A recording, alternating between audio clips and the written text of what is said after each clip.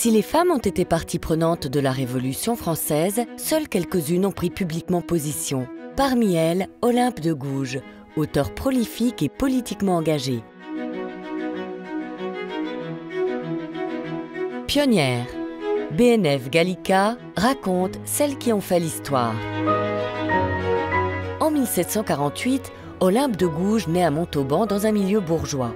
Mariée à 17 ans contre son gré, elle décide de rester veuve après la mort de son époux, ce qui lui permet de publier librement ses écrits. En 1770, elle rejoint la capitale.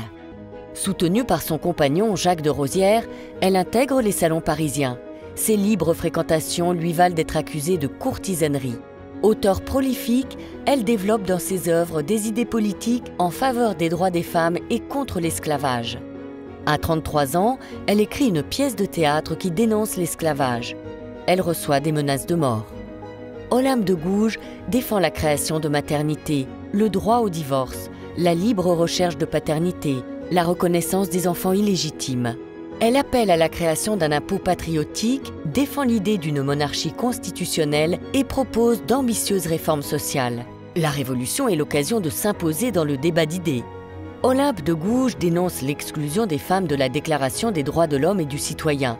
En 1791, elle publie la Déclaration des droits de la femme et de la citoyenne qu'elle adresse directement à Marie-Antoinette. Progressiste, Olympe de Gouges appartient au courant modéré des Girondins. Défavorable au procès de Louis XVI, elle propose son aide pour la défense du roi. Le 2 novembre 1793, elle est convoquée devant un tribunal après avoir pris position contre Robespierre et Marat. Elle est guillotinée le lendemain. Olympe de Gouges laisse un testament politique dénonçant la violence aveugle de la terreur. Virago, femme-homme, impudente. De son vivant comme après sa mort, elle a fait l'objet des attaques les plus virulentes. Elle est aujourd'hui considérée comme l'une des pionnières du féminisme français.